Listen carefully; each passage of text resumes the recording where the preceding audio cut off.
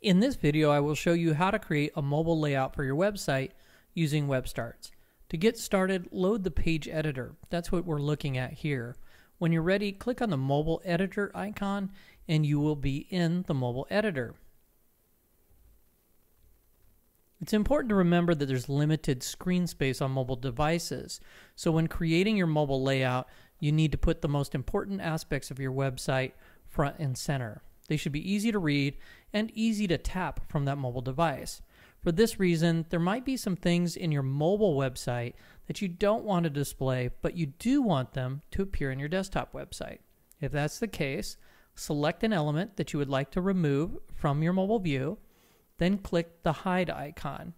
Once an element's hidden, it will appear under the hidden icon in the left sidebar. You can make that element visible again by clicking on the visibility icon.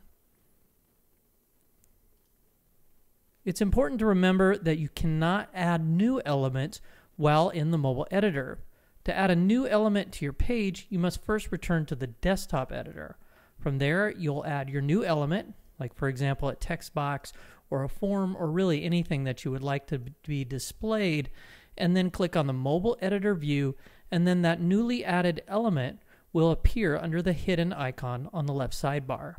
Make it visible by clicking on the visibility icon. Just like in the desktop version, you can drag and drop elements in the mobile editor where you'd like them to appear. But unlike the desktop version, you have limited ability to change the properties of a specific element. For example, you can adjust the size of the text, but you can't adjust the color.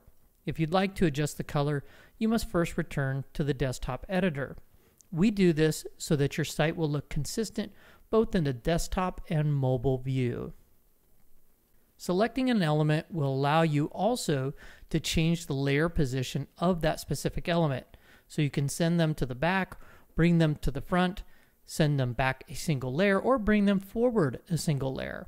You can also resize any element by value by clicking on the resize by value icon and then entering the width and height in pixels. When you're ready, click OK and that change is applied. If you want to change the background of your mobile layout, click on the Design tab, click on Background, choose a background color specifically for your mobile view, and also choose whether you'd like to apply a background image specifically for your mobile view. By default, your mobile view will not be enabled.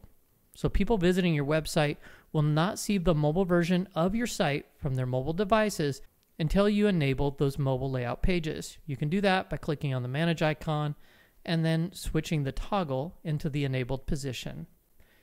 Anything that you place in the header or footer, just like in the desktop version, will be displayed on each page of your mobile layout. As always, be sure to save and publish your changes by clicking the save icon. That's it for this video. Thanks for watching, and don't forget to visit webstarts.com to create your very own mobile website and see more helpful videos like this.